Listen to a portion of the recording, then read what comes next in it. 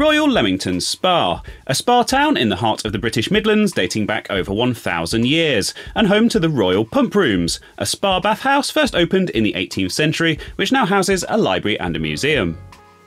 But we're here for some more recent history in the form of Silicon Spa, the small temporary exhibition housed inside and running until May the 9th that celebrates the area's rich game dev heritage with over 50 local game developers represented. So after being greeted by the fan favourite Atari 2600 and this rather nice example of a Binatone Pong clone, this arcade machine caught my eye. Although it doesn't have any controls and apparently just plays footage from Astro Blaster and Phoenix on a loop. Why can't we play with you? Oh well, on to the good stuff. The main stars of the show are local legends, the Oliver twins, and here's a cabinet showing a collection of games with links to these infamous bedroom coders, who apparently in 1986 were single or double handedly responsible for 7% of all of the games sold in the UK. Their early work for Codemasters is well represented, of course, the company still being based two minutes down the road in Southam. Philip and Andrew's games sold over 3 million units during their time working with the publisher, which included 10 UK number one bestsellers, with the Dizzy series perhaps being the best known.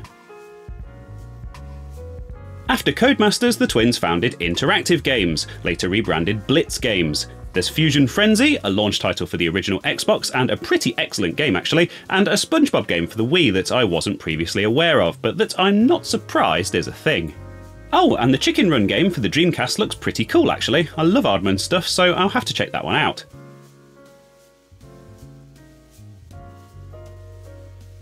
Okay, maybe not. All that dizzy stuff aside, perhaps their greatest achievement is Barbie Horse Adventures, slotting in comfortably alongside the original Xbox's selection of manly shooters and racing games. In true Oliver Twins tradition, this was not only the ultimate simulation of riding a horse, but also cleaning one. Speaking of simulators, here's their own personal copy of Advanced Ski Simulator from 1989.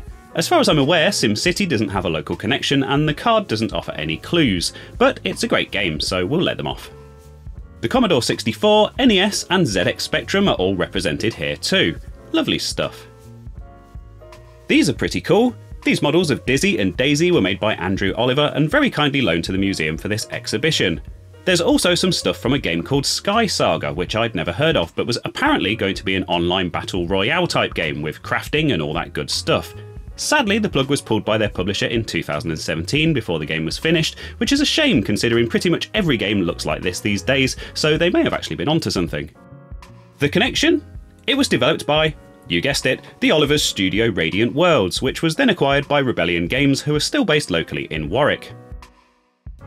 Moving on from the twins, also local are Attention to Detail, who developed Rollcage, a racing game for the original PlayStation, and Freestyle Games, who developed rhythm game B-Boy for the PS2. It's nice to see indies represented, and here are some notes from an in development space game made by local game designer Adam Frost, so I'll have to keep an eye out for that one. Ah, now this I remember very well. An ill advised purchase on the Xbox 360 when I was into Guitar Hero and Rock Band and the like, DJ Hero, again from local developer Freestyle Games. It's also nice to see one of the biggest modern game franchises in the world, Forza Motorsport by local developers Codemasters, represented by the single Xbox One copy of Horizon just shoved into the corner of this cabinet.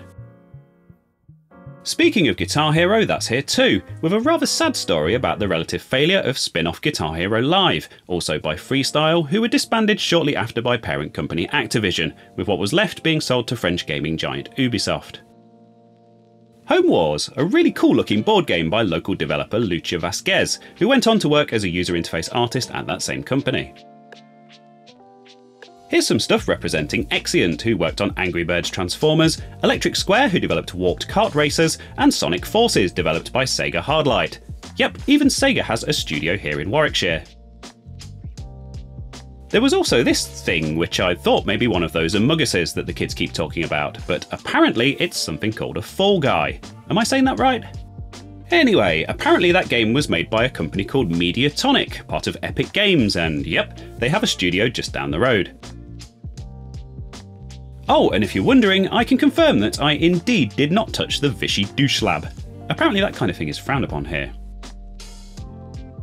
Anyway, it's a great little exhibition if you're local to the area. There's not a huge amount here, but what is here is a real slice of local history and very cool to check out. Big thanks to my Patreon and Ko-fi supporters, and of course my lovely YouTube channel members. Thank you very much for watching, and I'll see you next time.